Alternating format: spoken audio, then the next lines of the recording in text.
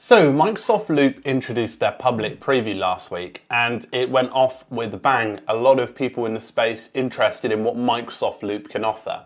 Now, in this video, we're actually going to be doing a full tutorial about how Microsoft Loop operates. I'm going to give you insights into how to start creating a workspace page and component and giving you a bit of an overview. And this might be great for those who are thinking, is this right for me? And whether it's suitable for you and your team. Before we begin, the administration setups of Loop, you probably want to refer to content from Darrel, uh, from Darrel as a service, which will be linked below, and Matt Munslow if you want some help with Microsoft specific administration setups. Um, I'm giving my opinion as somebody who has reviewed Notion for probably six or seven years now and is very interested in how this new Microsoft product will evolve. So before we begin, my name is Francesco Alessio and welcome to Keep Productive. If you're interested, subscribe below. So here we are with Microsoft Loop. And one of the things from the get-go is that you've got three core areas, workspaces, pages, and components. And I want to go through them all and give you an idea of how this account really operates. This might be like a 101 for a lot of people, but it'll help to work out whether it's right for you from a features perspective as well. So as you can see here on the screen, good morning. This is my area where I can see my workspaces. Workspaces are essentially like projects. You can create a workspace for a new project or you can create a workspace for a new area. It's really up to you on how you structure that. And obviously that's something to get going. Um, maybe you want to start an entire company from it, but that's just a preference really. From here, you can uh, modify the information that's on each of the workspaces by favoriting it, renaming and styling it. Styling it is very simply changing cover, colors and checking who's members as well as deleting it here. So in this case, if I went ahead and deleted this, it would disappear from my workspaces. And I can view this as a list very simply. You can see your favorites here, but what I'm going to do is um, show you how to create a new workspace but then dive into one that I've just created to make it a little bit easier. So creating a new workspace is, is fairly simple. You can add an icon, title, invite people, and change the cover photo. Now, in order to do this, um, I'm just going to just demonstrate workspace B and give it an icon. And you can see that it's very simply structured. Now this is a feature in Microsoft called Jump Start, and it's pretty impressive because what it does is it scans through all of your Microsoft 365 documents and anything you've got in Microsoft um, 365, and it will make suggestions based on that using AI, which is really cool. You can actually prompt it with keywords to really refine that, uh, which is very cool.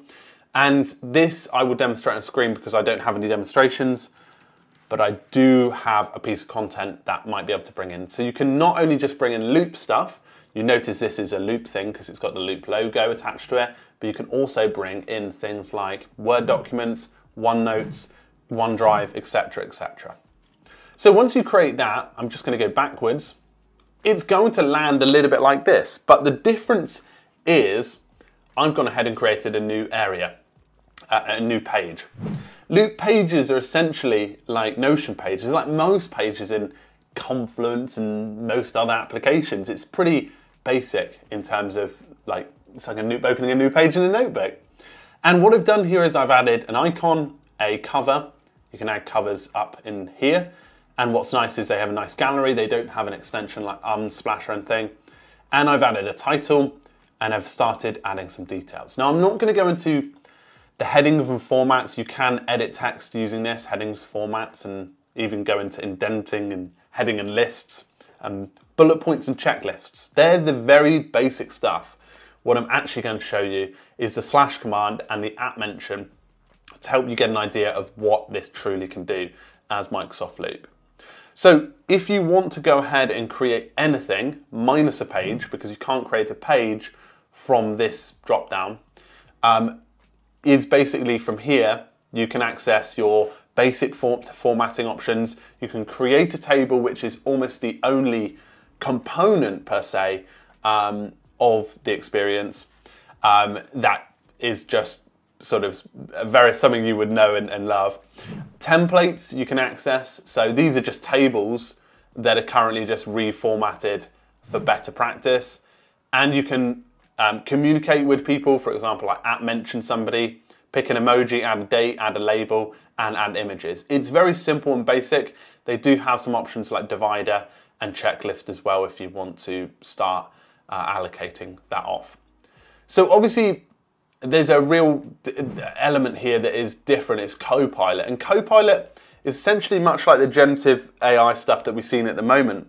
If you haven't seen them, do check out more videos here on this channel. But you can start using it to um, utilize AI. Last time I tested this, because it was in preview, I was having some problems, and at the time I think it was to do with the OpenAI stuff. So I'm going to try it now.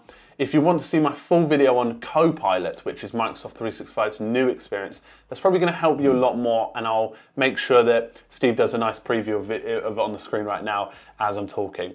But you can do stuff like create a list of the best venues in France for this event. I don't think it will work Let's see. But what it normally does is spout out um, uh, the ability, see, there we go, um, for Francesco in France, let's see. Um, and what it will do is actually spout out that um, in practicality. I'm actually not getting much luck with it the last couple of days, but again, it's probably due to the OpenAI outages that I have been, or everyone's been experiencing. So Copilot essentially is going to work in it. I'll probably do a full separate video, so make sure you're subscribed. Um, we'll talk about Copilot more often, but it's there within your experience. Now, before we move on to the actual component element, to create pages, you go up here, and you can not just create a page, but you can create a link. So if you've got something in Trello, got something in Evernote that you want to be able to link in and have that as an easily bookmarkable uh, thing, then you can have it up there. But any page you create, I created one and I needed to nest it within this one for it to be part of that page, if that makes sense. You can see up here the breadcrumbs of that. So this is level, this is workspace, level one, level two, and it's giving you an idea of the structure of the account. Now, with any page, um, you can see yourself editing it, and multiple people will pop up. And if you've got a, a nice uh, profile photo will show that, so that's nothing to be worried about. The other aspect as well is if you at mention things, you can at mention in the moment files and people, so I can bring in other people and other loop components or files that I have in my Microsoft account. Now, if I did have something in particular I wanted to highlight, I could utilize this commenting function. So I could leave a comment and uh, the comment appears in line in full bleed, which is quite nice, but also can be quite disruptive in a way because you're sort of like, oh, it's there. But actually, at the same time, uh, resolving them or deleting them sort of makes it more obvious when you're trying to edit content. It's not like nestled away too much, but notifications will pop up here. So you can see any unread notifications and uh, be able to make sure you get them so let's go on to the good bit. let's create a table and show you what a table looks like. So I'm going to press slash command and type in table. Now this is really simplistic. There's a few things you need to note here. It's not as advanced as something like Notion databases at the moment, but it does offer some basic functionality that converts into something more exciting. So you can see here that um, I can go ahead and create the loop component if I want to from scratch. But here I can use basic sorting, and sorting can just be based on the columns and whether they're ascending or descending. I can hide a column if I do want to, which is quite handy for lots of information. And I can expand the table across the full width of the page. Now, what's neat is I would say this is quite, you can see it's quite, actually quite responsive. There's no issues with this database. I can actually change the type of the column there's very basic structures like that, like number, date, person, voting, and label at the moment. So you can actually create a set of labels in a, in a label group. So label group could be, you know, like we could have the bento priorities as our concept that we created, the large, medium, and small. And you could utilize bento priorities there. So here I might be, okay, this task is large, and I could bring, oh, I could bring this round. So you're starting to see it's actually quite responsive in terms of how it works. And I actually thought I had no issues then with the, I don't actually know how to retitle something. This is sad, isn't it? No, there we go, rename, and I could put task there.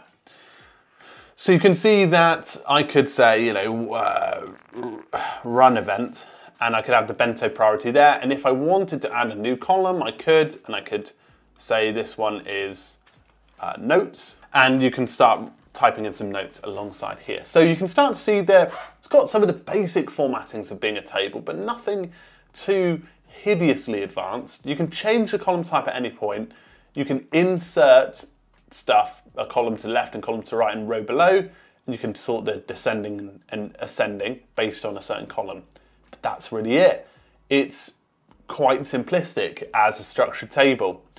But this is where it sort of turned into a different experience is Say I have my table here and I want to create it into a loop component. You can see that there's sort of like a weird magician thing pops over the top.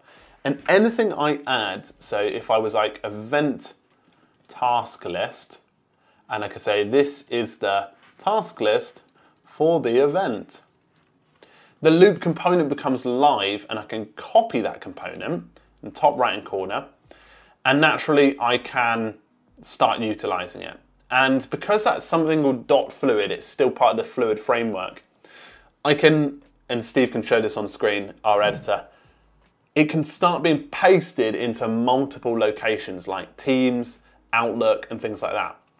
And what the difference is, is from here, people can actually modify the information and, and be able to re in, react with it in real time. And that's really nice because it's a great example of collaboration.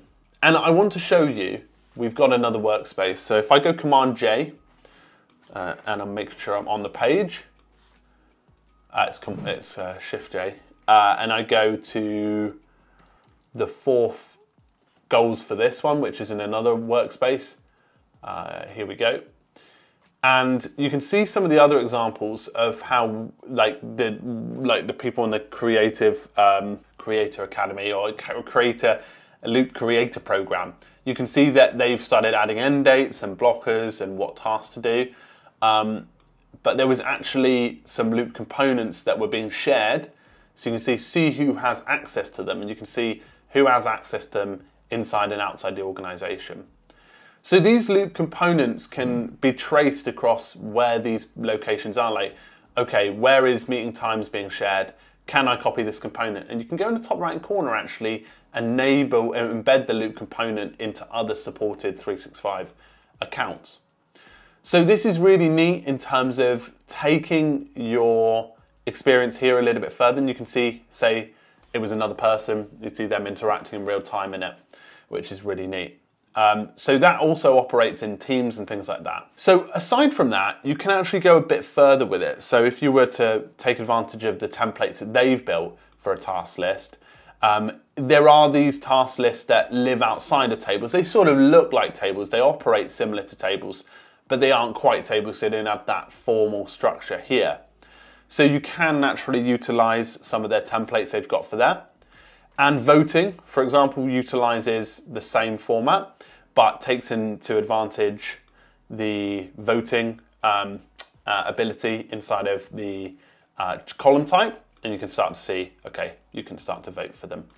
And finally, you could go ahead and utilize the progress tracker. And that essentially is one I showed you a moment ago um, that gets you started with that. So aside from that, you've got the ability to add a date. So you can just add a date anywhere and it will essentially allow sort of prompts on that area and it will give you a notification as well, which is very nice, uh, very helpful. You can add a label. So for example, you could be, you could just put the entire thing as progress completed.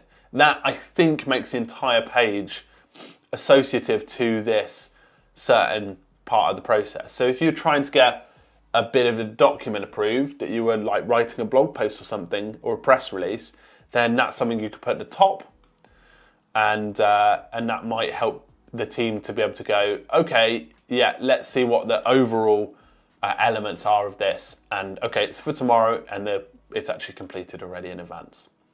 So you can start to see how that's formulating and how that's structuring. Up in the top right hand corner, you can see the version history and you can restore certain versions of it, which you typically expect with these sort of things. Uh, as I said, there's settings. This is a neat area. So what you've got here is ideas that can be private or shared. And essentially what you can do is utilize them to not make them formalized yet and not make them part of the workspace that is living here with the pages, etc. So that's something great for mm, taking advantage of stuff. You can create sub pages here. You can actually share the page and you can view stuff as either hierarchy or activity based. Swapping accounts can easily be done here and creating a new one there and seeing any recent stuff pop up is really easy through this left hand side. So I think all in all, that is Loop and Microsoft Loop. And as you can see from this video, if you're making the decision on this and some of the more formulated options, it's probably not where it wants to be right now. Microsoft Loop is, is in terms of its product, not near Notion. It hasn't got a lot of the functionality, it hasn't got the integration, it hasn't got the brilliance of what Notion has. It's very much an MVP of what could be coming. But it does have loop components, which is something that takes the account a lot further, especially when you're trying to collaborate in real time. It's great for those who are already in the Microsoft 365 ecosystem, and it's great for those who are wanting to collaborate better and haven't tried things like Notion and probably are looking to do that and collaborate in a more systematic way. So that was an overview of Microsoft Loop, a full tutorial. Please let me know if you have any questions and um, hopefully it gave you an idea of how this works and gives you more of a uh, whether this is right for you. Do remember this is a public preview, so with all of these types of things, I've reviewed many, many apps. Um, they are still early days, so this is going to evolve and this is going to change. So that's definitely a good thing. But of course, just make sure you note it when you're looking at it. But again, I said Darrel was a service and uh, Matt Munslow, both great Microsoft creators on YouTube. I highly recommend checking them both out because it will give you more depth in structuring your um, Microsoft Loop account and taking advantage of Loop components. Thank you very much, folks. I really hope this helped. Please let me know if you have any questions, and I look forward to seeing you in a future video. Cheerio, and do make sure to subscribe, everyone. Bye.